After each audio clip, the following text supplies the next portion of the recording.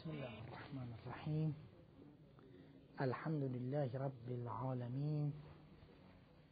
وصلى الله على محمد وآله الطاهرين. اللهم صل على محمد. دو تا روایت دیگه راجع به یمانی آیون فرمودن هست و ما اینها را می‌خوانیم. بعدا پروندهش رو میبندیم. منتظر آقام بودم نم روایتی که میفرماد من که پیدا نکردم. من پیدا نکردم. حالا اگر بیارید ما اینم بحث کنیم و پرونده دیگه ببندیم. روایت دیگه شماره هاش دست شماست. من نمی‌دونم. چند چند تا روایت شد؟ نهم. الان نهمه؟ خب. روایت نهم. روایت است که مرحوم نعمانی در کتاب الغیبه. اینو نقل میفرمان. روایت من اول سندش بخوانم براتون. نعمانی میفرماد در صفحه 39 باب دو. میفرماد حدثنا محمد بن عبدالله ابن معمر الطبرانی. به طبریه سال 333 بعد خود آقای نعمانی در مقام ارزیابی سند برمیاد و میفرماد این شخص کان هذا الرجل من موالی یزید ابن معاویه. از دوستداران یزید بود. و من النصاب. نصاب جمع ناصبی. ناصبی هم بود. در پاورقی دارد که در بعضی نسخه ها دارد و من الثقات. خیلی بعیده که من موالی یزید ابن معاویه و من ثقات همون من النصابه. حالا نگران نباشید. متن این روایت قبوله. حالا خواهید دید. نه یعنی راویش نه اگر به اصطلاح موالی یزید باشه. راویش هم خود خود یزید هم باشد چون اقراره. اقرار به فضائل أهل بیت. و اگر یه افرادی که معروفن به نسب معروفن به دشمنی أهل بیت این سنخ روایت فرض کنید که ابو هریره بگه که بله پیامبر که فرمودن الحسن و الحسین سید شباب أهل جنه أنا نمیپذیری چرا نمیپذیری این اقاریر اینا. نقل فضائل اهل بیت. حالا ایشون میفرماد که این آقای تبران تبرانی چند تا داریم و این تبرانی غیر تبرانی معروفه.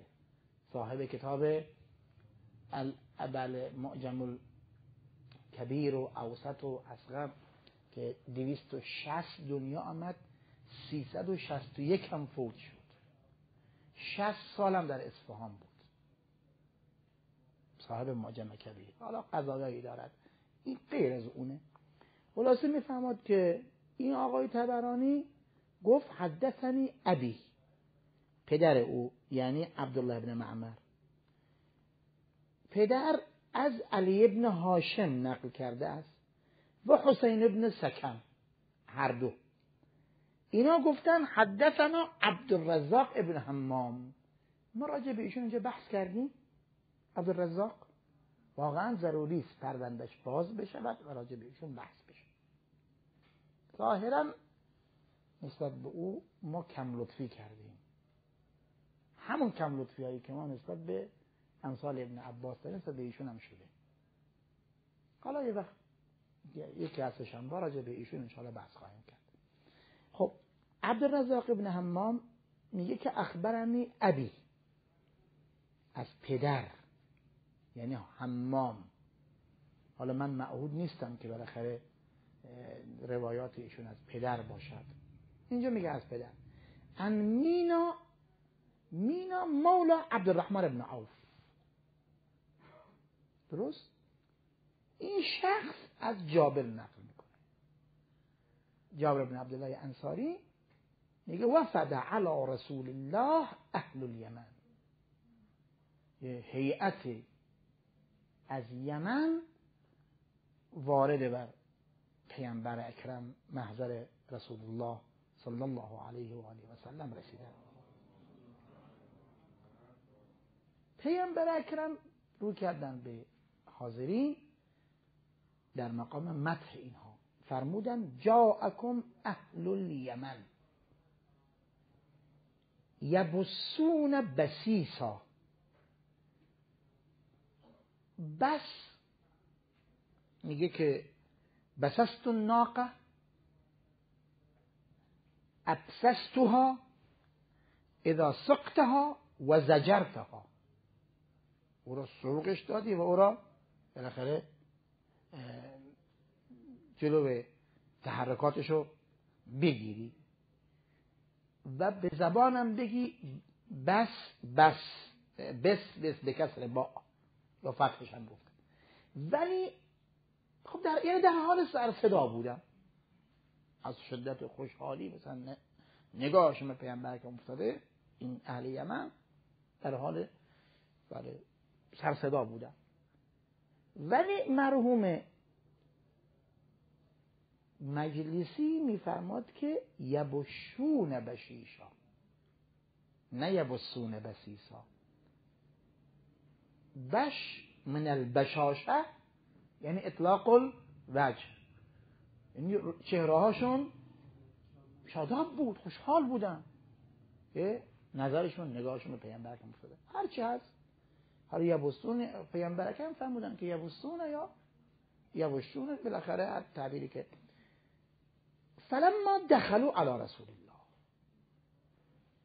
هنوز وارد نشده بودن پیامبر اکرم به جمعیت فرمود که اینها این هستن در حال بشاشت هستن.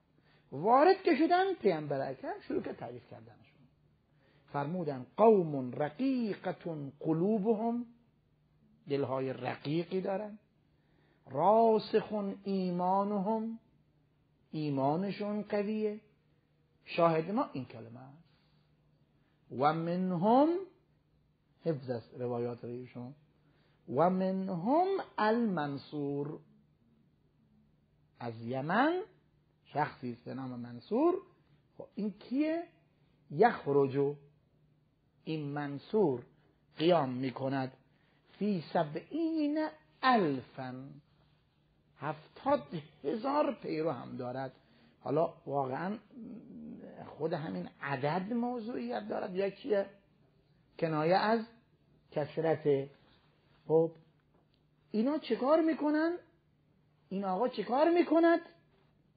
ینصر خلفی. قیام می‌کنه برای یاری کردن جانشین من و خلف وسیعی. جانشین وسیع من. همائل سیوفهم المسک. مسک به فتح میم به معنای پوست. تنابی که از لیف خرما باشد. میگن مسک. میفرماد که همایل شمشیرهاشون از تنابه است که از لیف خرما بافته شده. حالا ابین در بعضی نه. ببینید. نه. از کنم. درسته. ایزه ببینید.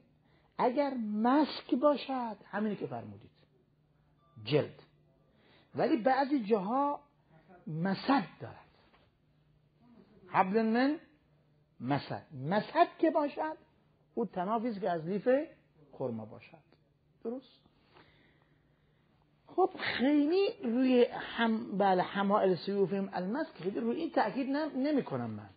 تأکیدم روی این فرمایش پیامبر. منهم المنصور که این منصور هفتاد هزار نیرو در اختیارشه و هدفش چیه؟ ینصر خلفی.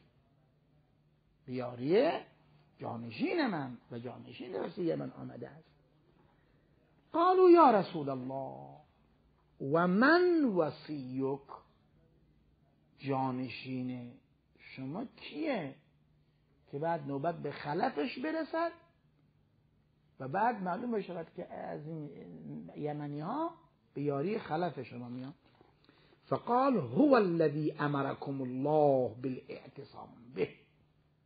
وصیه من همون است که خداوند عزوجل در قرآن دستور داد فرمود واعتصموا به حبل الله جمیعا ولا تفرق.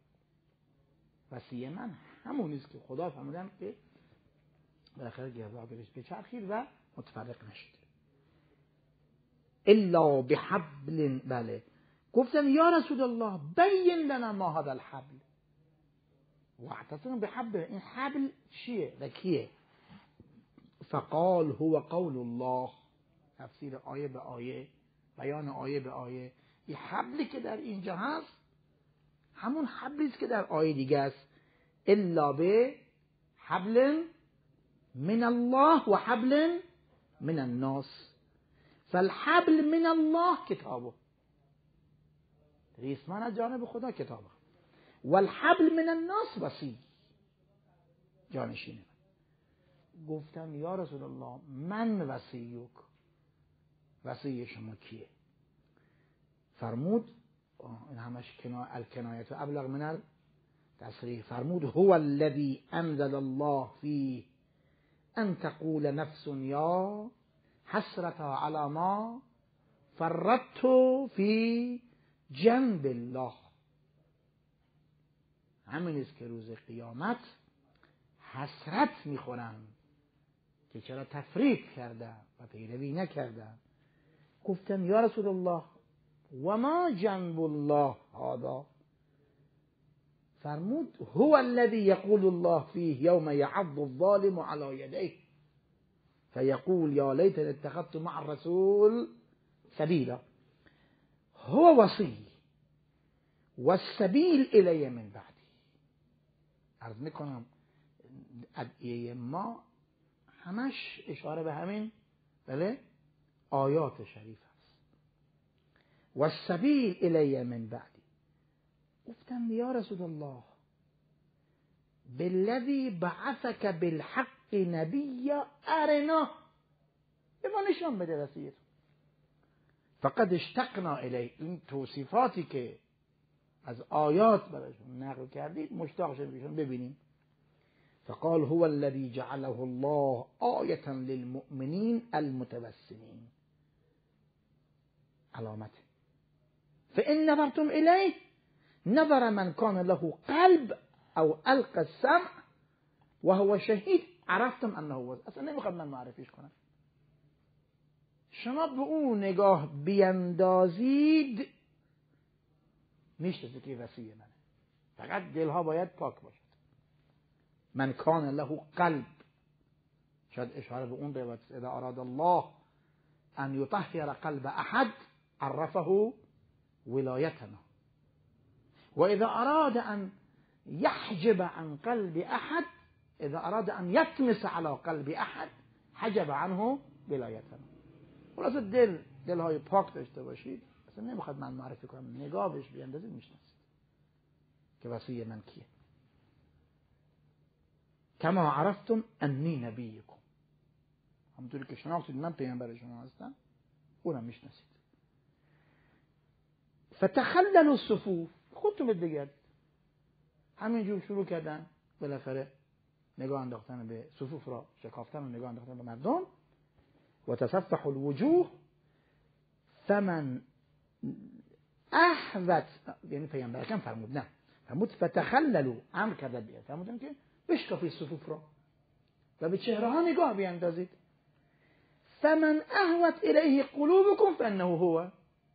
ببینید دل به کی تمایل پیدا میکنم همون وسیعه منه. لأن الله عز وجل همش مستند به آیات.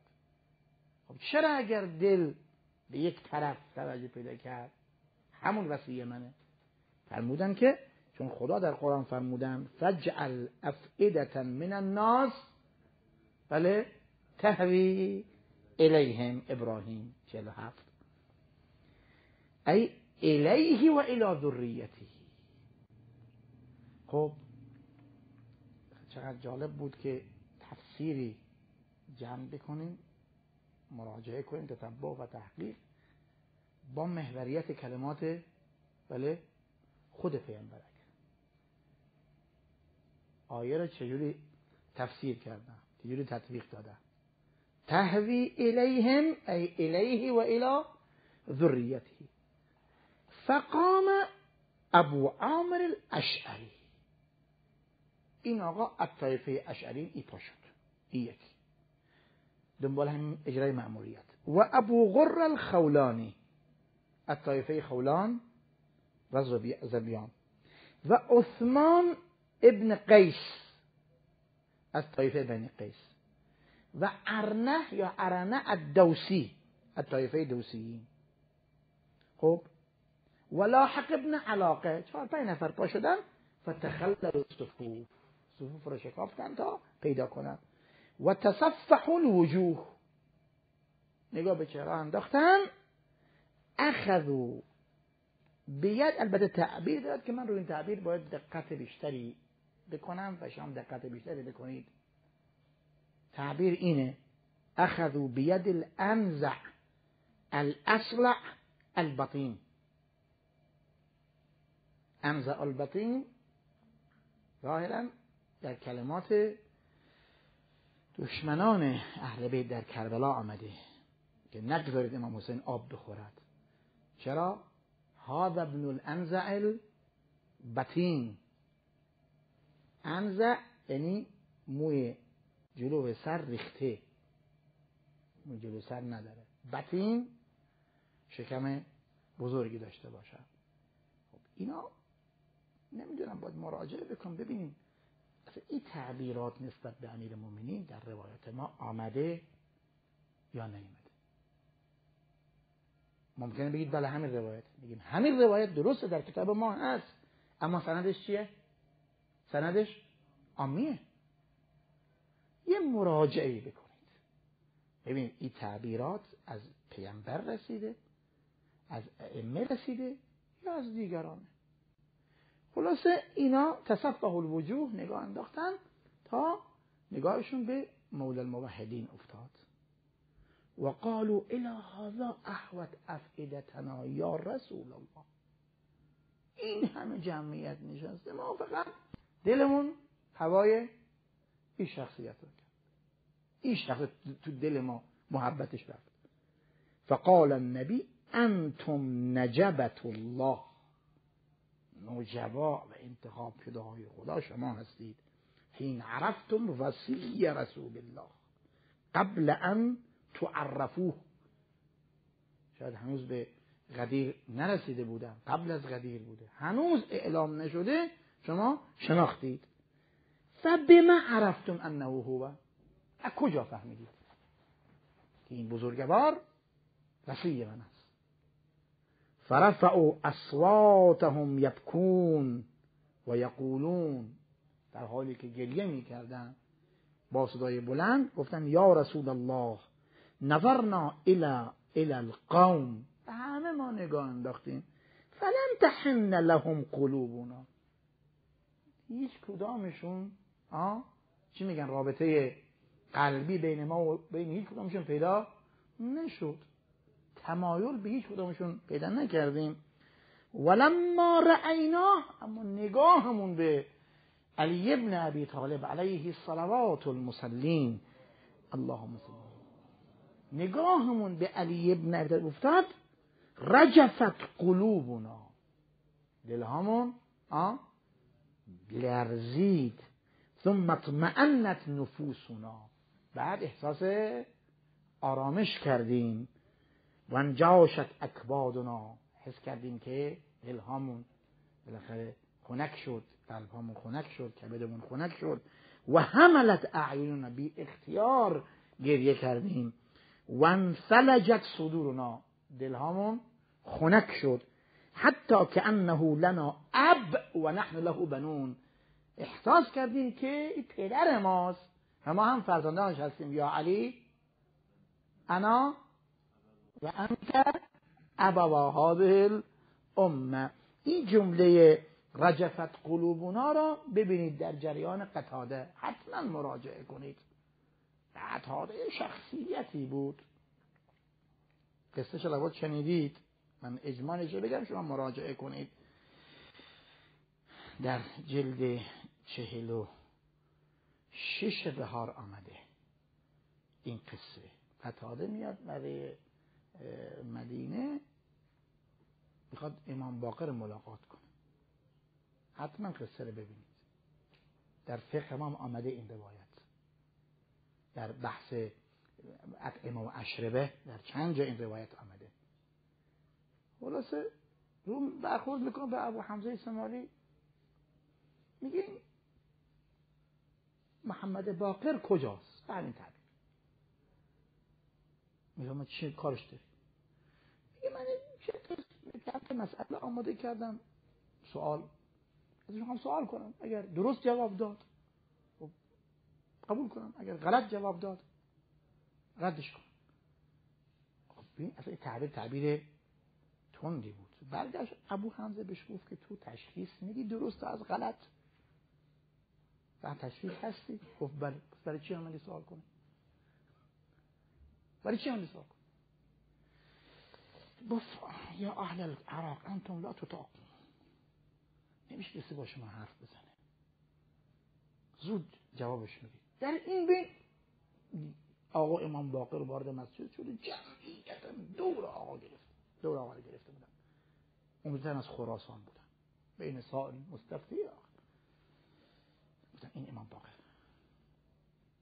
خلاصه آمد آقا نشستن تو مسجد و جمعیت هم ما یه گوشه نشست یه مقدار که خلوت شد خدا آقا رو کرد به من فرمود که قطاده هستی بله. فقیه العراق؟ بله فقیه العراق. امام یک مقدار راجع به مقام امامت بیان کردن دو سه خطه عرض می‌کنم تأکید می‌کنم مراجعه کنید. که خداوند خلقی را آفرید و خلق دیگر را آفرید. اون خلق دیگر حجتا بل این خلق اوتاد زمین هستند و ما اون حجت ها ما هستیم. بعد رو کرد به امام ارز کرد که آقا من شخصیت های زیادی را دیدم. بزرگا اسم میبر ابن عباس. شخصیت های زیاد دیدم باشون صحبت کردم. هرگز این حالتی که الان به من دست داده که میلرزم. هرگز این حالت برای من اتفاق نیفتاده بود. علت چیه؟ آقا فرمود می‌دونی کجا نشستی؟ می‌دونی کجا نشستی و بیشه کی نشستی؟ فی بیوت ابن الله ان ترفع و یذکر فیها اسمه. بله بله همینطوره. بیوت حجر و مدر نیست منظور شما خاندان رسول الله هستید حالا این تا آخر قصه رو مطالعه. بکنید شاید من این کلمه است که میگن یمنی ها نگاهمون به این شخصیت افتاد. نمیشناختیم اما رجفت بله؟ پیامبر اکرم فرمود بله و ما یعلم تأویله الا الله والراسخون فی العلم. انتم منهم. شما یمنی ها مستاق راسخون فی العلم هستید. بله. أنتم منهم اجازه بفرم عبارت تکرار کنم. أنتم منهم بالمنزلة التي سبقت لكم بهم الحسنى. نه اینکه شما مستاق راسخون در هستید. نه. شما مستاق کسانی هستید که تونستید تشخیص بدید. و أنتم عن النار مبعدون. شما با این تشخیص دیگه از آتش جهنم دور هستید. فبقی هؤلاء القوم المسمون حتی شيء اینا بودن در رکاب امیر مومنین تا جمل و سفین را شرکت کردن و قتلوا به سفین همه اینها هم شهید شدن. و کان النبی به شرهم به جنه به اینها بشارت بهش داد. و اخبرهم انهم یستشهدون مع علی. ببینید همون اول پیامبر اکرم نگاهی به اینها کرد فرمودن که اینها شهدا هستند. و همه شدن بشارت. خب این روایت خب به نظر حقیر دلالت روشنی داره بر اینکه شخصی از یمن ظهور می‌کنه و مورد تأییدم هست. چهرش هم چهره مثبت. اما اینکه بیایم اشکال سندی بکنیم. به نظر حقیر اشکال سندی اینجا کارساز بله نیست. چرا؟ متن قویه. متن خیلی قویه. و شواهد زیادی هم دارد. راویش هر کس بلکه و عکس یعنی امثال تبرانی که خود آقای نعمانی فرمود کان من النصاب کان من النصاب اگر این نقل بکنه این باز خودش یک شاهده. حقیقتی است که دیگه نتونستن منکرش بشن خب از نظر اشکال سندی خب قابل حل نیست ولی نیازی به اشکال سندی ما نداریم. ولی با اون نکته اون نکته هم باید مراجعه کنید. انزع نمی‌دونم اصلا بطین اینا باید بین در روایت دیگه هم آمده است یا نیامده است. مسئله این قویه خب بله؟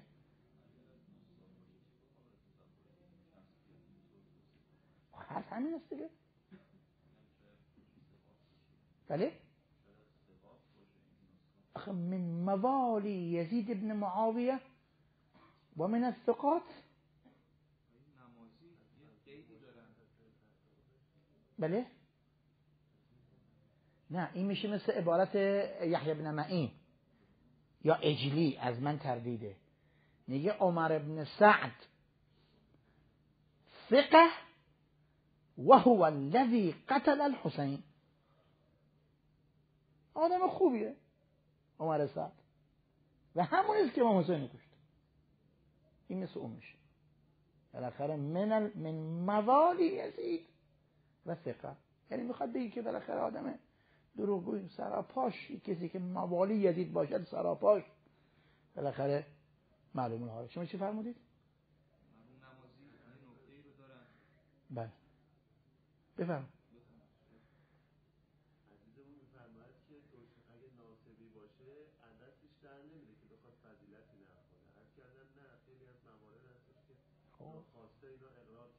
مرحبا به ناصرنا بالاخره تایید میفرمایید شما. خب داریم عبدالله ابن عمرو عاص. اینا بالاخره پسر عمرو عاص هستن ولی روایاتی رو نقل کردن. احب اشاره به حسین می‌کنه. میگه هذا احب اهل الارض الى اهل السماء. ایشون نقل می‌کنه. بله بعید نیست. بفرمایید. بفرمایید.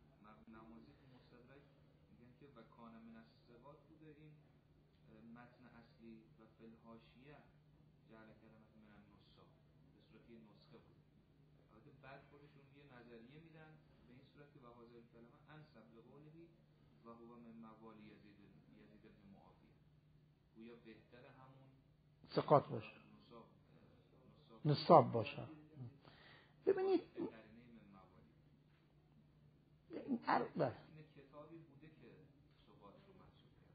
عرض کردم این روایت رو نمی‌تونیم بزنیم خواه کلمه نصاب باشد کلمه سقاط باشد. هر چی باشد مرحوم نعمانی بر این روایت گویا اعتماد کرده. که می‌فهمد که از نصاب از نصاب از روایت کرده. موالی یزیده ولی از سقاط حالا این مشکلی نیست که ما بتونیم در اثر این اشکال سندی روایت را زیر سوال ببریم. ما این یک روایت را میپذیریم. اگر بتوانیم تطبیقش بدیم بر بله ایمانی. یک روایت دیگه فقط اشاره بکنم و تفسیراتشان برای بعد. خب ببینیم این روایت رو کسی دیگه هم نقل کرده یا نه؟ همین روایت را. ظاهرا روایت دیگر است. یادداشت بفرمایید. در معجم جلد دو صفحه 156 فقط طرح بحث می‌کنم. دلم می‌خواد مراجعه کنید. تا فردا ان بینه و بالاخره با آگاهی بیشتر وارد این بحث بشیم. این روایت مفصله. تقریبا ده صفحه دوازده صفحه است. دوازده صفحه یک روایت از پیامبر اکرم. اصلا این سنخ روایات آیا واقعا یک روایت بوده؟ چند تا روایت ادغام شده؟ نمی‌دونم. این ما بعد بحث خواهیم کرد. و این روایت را اساسا دانی نقل کرده. در سنن خودش. چقدر این دانی بین اهل سنت اعتبار دارد بین ما چقدر اعتبار دارد اینا بحث می‌کنیم تا برسیم به خود متن. و و